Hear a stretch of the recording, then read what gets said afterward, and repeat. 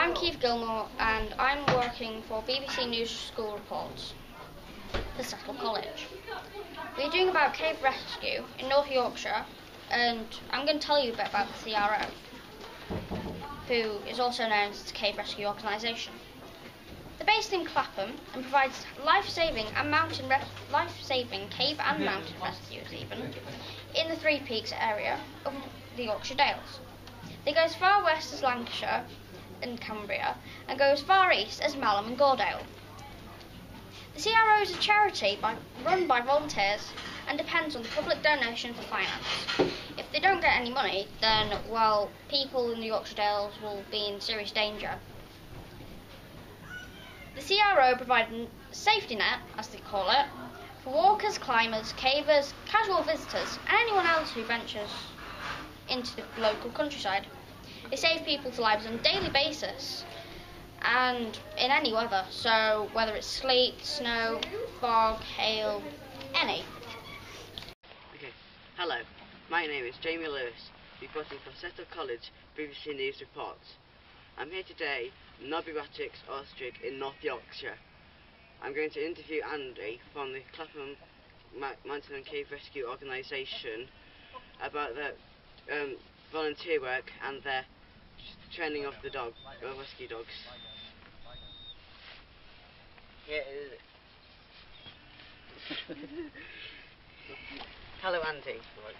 I'm just going to ask you a few questions.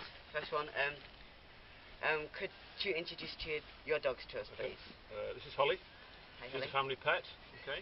Uh, and then next door we've got Belle, who's a trained and assessed mountain rescue search dog, and her handler is Andy, who's standing there. Yeah. So, Um, could, could, how is impor- how important are your rescue dogs um, for rescuing people? well, they're a very, uh, very important part of the team, and they make up a, a part that the humans can't replicate, because they can cover huge areas very, very quickly Uh, in searching for lost people. could you describe a typical mountain rescue would do with your dogs?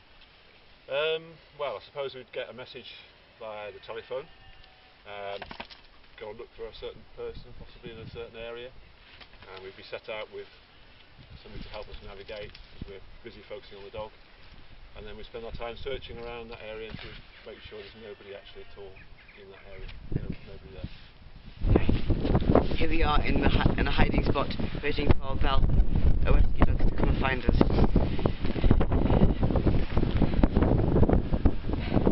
We'll get back in five minutes, so when she'll come. If I of rescue, I'd be get very frightened and cold, but also hopeful of survival. That I would know that the um, volunteers and the um, rescue dogs will come and find me. They, I, my life could depend on them.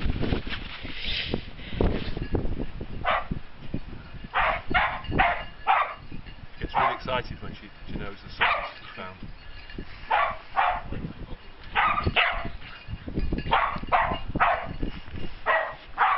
That was really quick.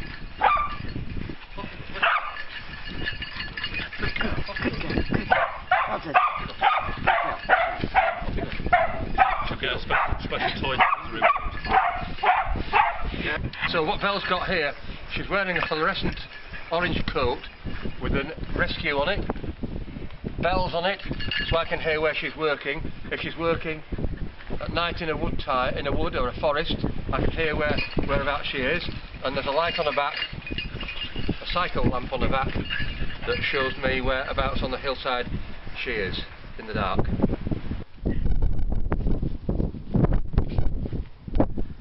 I'm waiting here for the um, rescue dogs to come and rescue us on this perilous rock.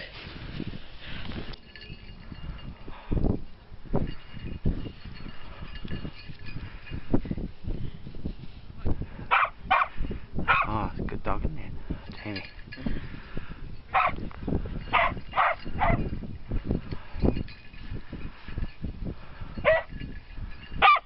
Yeah. Good girl. Well done. Good girl, Belle. Good girl. Brilliant. I realise how really important these dogs are for rescuing.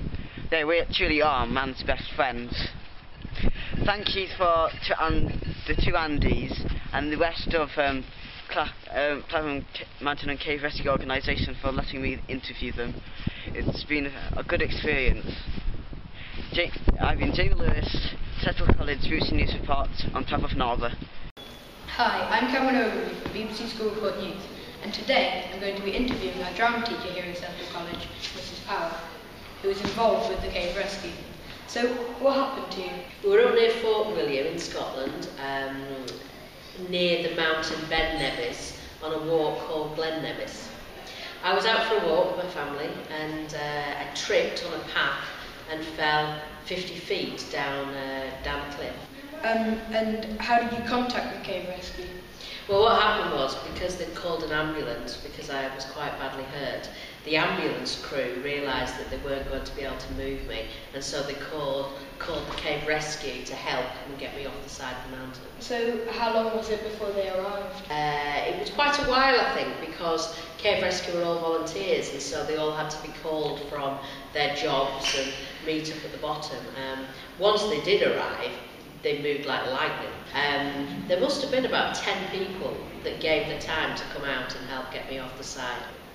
So um, were you conscious when they arrived?